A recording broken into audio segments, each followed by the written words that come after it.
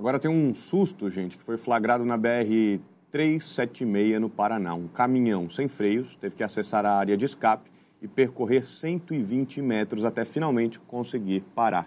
E por muito pouco ninguém se feriu, olha só.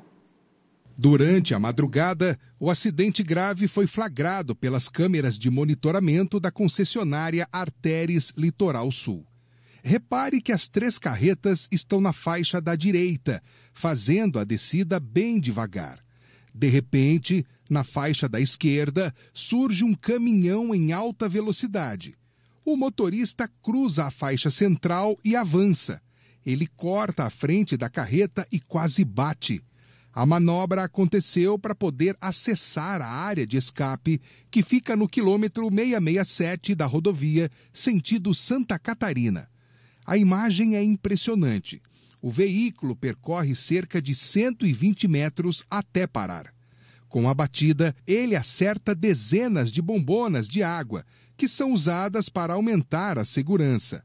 Foi o que evitou que o caminhão despencasse ladeira abaixo.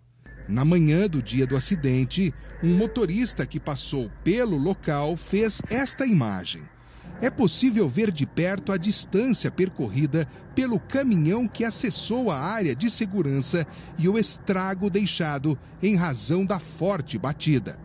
O caminhão que se envolveu no acidente estava carregado com cerca de 12 toneladas de molho de tomate. Apesar da gravidade do acidente, o motorista não se machucou.